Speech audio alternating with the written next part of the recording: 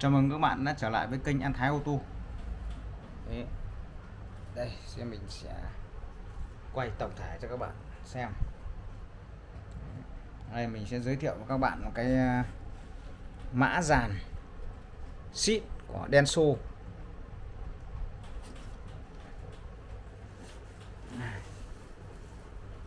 To ta lịch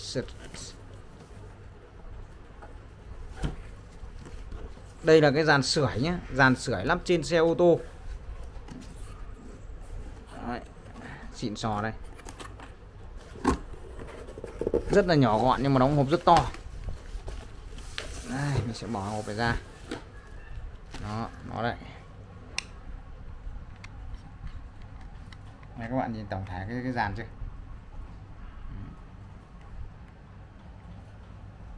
Đấy, xong rồi mình sẽ lột cho các, các bạn xem nhé.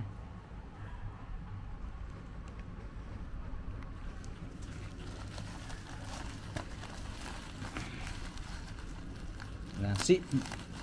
Xịn sò luôn có to to ta luôn. Đen xô luôn.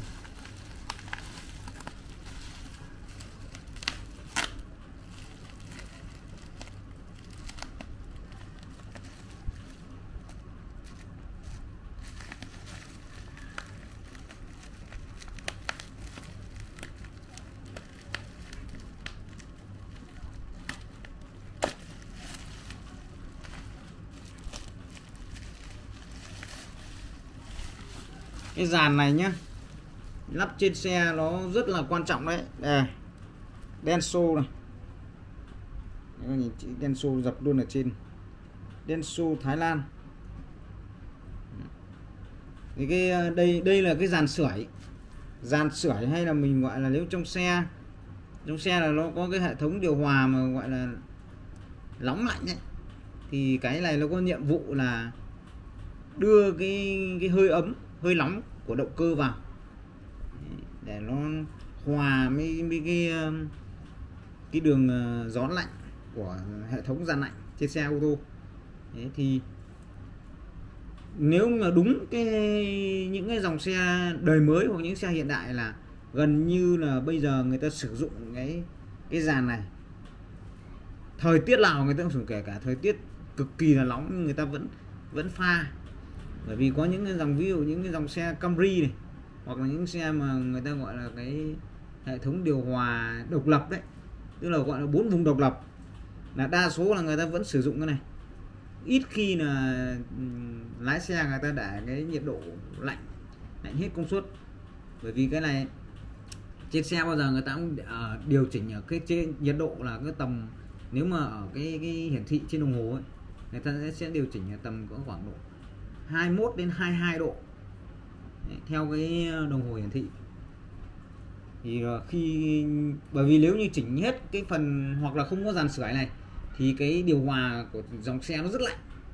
Bởi vì đo ở cửa gió điều hòa là có thể là cửa gió là xuống đến tầm những cái xe đời mới là người ta đặt chế độ cửa gió tầm 2 đến 3 độ C rất lạnh lạnh rất là buốt buốt tay lắm. Nên lái xe nhiều khi là đa số là người ta sẽ chỉnh chỉ nhờ cái cái nhiệt độ nó phù hợp.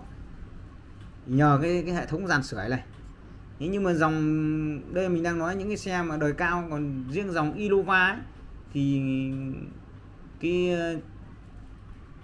chỉnh cái cửa gió điều hòa là nó không có không có cái chức năng đấy. Chỉ có cái chức năng là pha gió nóng và gió lạnh vào với nhau thôi. Và hệ thống của Innova là cơ hoàn toàn chứ không có chỉnh điều hòa độc độc lập tức là bốn vùng độc lập đâu. Thì đây mình đang nói là cái cái nhiệm vụ của cái dàn sưởi thì nó là như thế. Bởi vì à, thực ra những cái dàn này là khi cái nước người ta mượn cái nước của động cơ đấy, đưa vào trong cái hệ thống dàn này đấy nó chảy qua. Đấy, cứ nước nước ở động cơ nó nóng nóng mà chảy qua thì bắt đầu mới mượn cái gió cái gió của hệ thống điều hòa nó hút qua hoặc là thổi qua cái dàn này lấy hơi nóng này hay gọi là hơi ấm ấy. lấy lấy qua xong rồi chia ra để nó ừ, đưa lên ờ, cái hệ thống ờ, gió điều hòa. Thì đây là cái cái cái nhiệm vụ của cái dàn này thế. Mà cái dàn này thì sau khi sử dụng một thời gian ấy, thì nó đến cái gì nó cũng có liên hạn thôi. Nó đến thời kỳ bắt đầu nó bị bục những cái đường ống này. Đây tất cả những cái lan lan lan này lan nhìn cái lan dọc dọc dọc dọc này nó là cái đường ống đường ống cái nước nó chảy qua thì bắt đầu là nó nước nó ở trong đấy bắt đầu nó lâu rồi lâu rồi bắt đầu nó đến thời kỳ bắt đầu nó bị thủng. Thủng thì bắt buộc là cái này phải thay thế. Đấy, nhìn cái chất giàn xịn này.